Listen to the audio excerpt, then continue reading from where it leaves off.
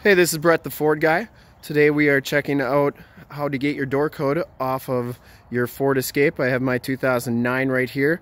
This video is going to be good for all 2008, 2009, 2010, 2011, and 2012 Ford Escapes.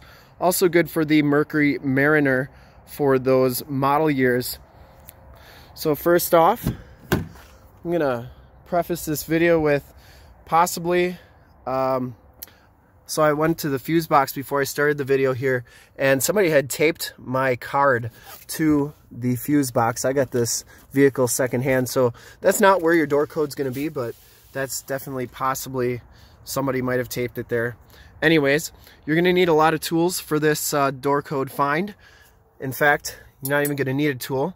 The best thing you can use is a very thin butter knife and uh, I'll show you how to do that because we're going to be taking this trim piece off right here with the butter knife and uh, I'll show you how to do that in just a second here. Okay, so before we take this off, I'm going to preface this with put your parking brake on because we're going to have to put this in neutral um, and you don't want to roll back into anything behind you, say your 96 Ford Escort. So we're going to set the parking brake and uh, Next thing you're going to do is you're going to take your butter knife. So there's four tabs on this chrome piece. One here, one here, one here, one here. So you're going to want to press down on the plastic. And then you're going to just want to lift up. And it'll you can hear it snap. You want to do the four, three corners. Once you do that, you can kind of just get it off with your fingers. So you can see the little snaps there. So you're all done with your butter knife. Next thing you're going to want to do is you're going to want to go inside your center console here and take out your big storage tray. Set that off to the side. Now next thing you want to do is take out your um, cup holder tray and then you're going to want to grab right here and pull up. There's four tabs and it's kind of violent when you do it but you're going to want to just pull up like so. It will come out and uh, they make that solid so it doesn't rattle while you're driving. So the next thing you want to do is turn your ignition on and put it in neutral. Make sure you got your parking brake on and keep your foot on the brake.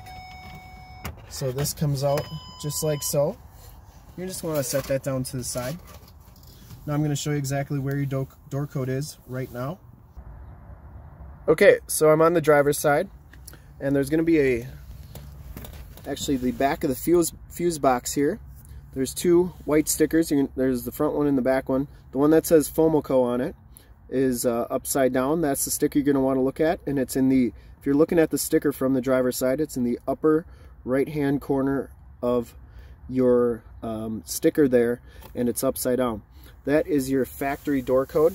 So that's the code that you're going to want to use to um, program any other personalized door code you may want. In fact, in the upper right hand part of your screen is a link to uh, show you how to program your own door code on the keypad entry here. And um, remember to like, subscribe, and share on the video. And yes, it is that easy. You just need a butter knife and a little bit of uh, strength there.